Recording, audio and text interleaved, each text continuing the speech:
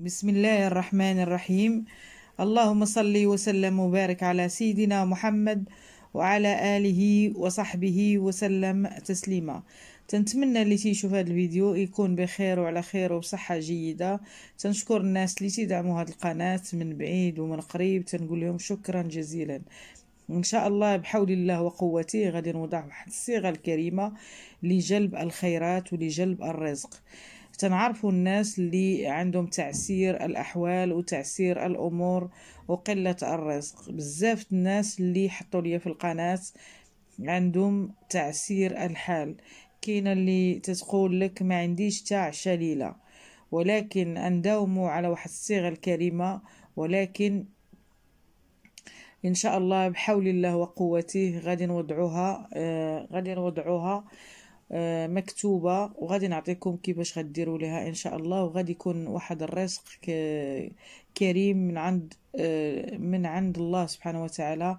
هو الكريم هو الجواد هو اللي غيكرم كل آه، مسلم برزق وفير إن شاء الله.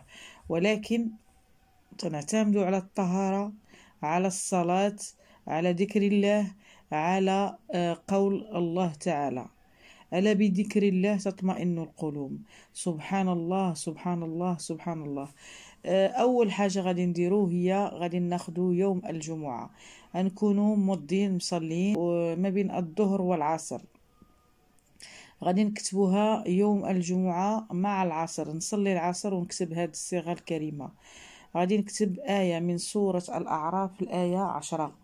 غادي ناخد قليل من المسك ومن الزعفران وقليل من الورد.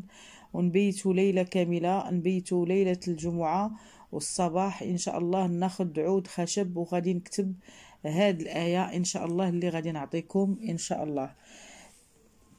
غادي نعطيكم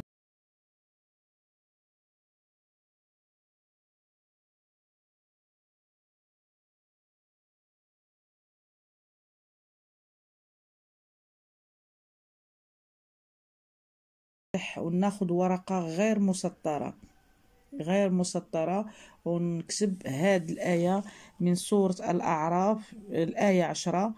إن شاء الله وإن شاء الله نديرها آه، في المحفظة ديالي لأن لأن لأنها تجلب الرزق والخيرات. سبحان الله العظيم سبحان الله بحمده. لها مفعول كبير. الآية من سورة الأعراف الآية عشرة. آية عشرة غادي نكتبها بتمعن إن شاء الله وأنا متقبلة القبلة ونكون على طهارة نكون نقية ونكتبها وأنا على القبلة. إن شاء الله ونكتبها عدد مرة واحدة ونحطها في المحفظة ديالي. والناس اللي عندهم المال قليل يحاولوا يداوموا عليها بالتسبيح العدد اللي بغاو. المهم 15 مرة 16 مرة في الصباح في صلاة الصبح إن شاء الله وبدأ يقرأوها على نية آه، جلب الرزق. سبحان الله لها أثر كبير على الإنسان في جلب الرزق.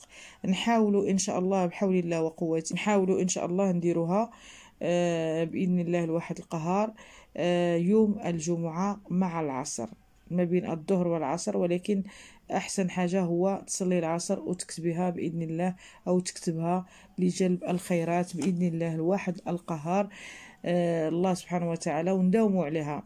الناس اللي عندهم قلة الرزق يحاولوا أنهم يداوموا على سورة الواقعة وسورة القاف لأن بعض الأحيان تكون القرين تكون القرين هو سبب آه تعسير الأحوال. إذا أحبابي في الله ما بقى لي غير نقول لكم حاولوا تدعموا القناة وتفعلوا الجرس وتأبونوا عندي بحول الله وقوته. والسلام عليكم ورحمة الله وبركاته.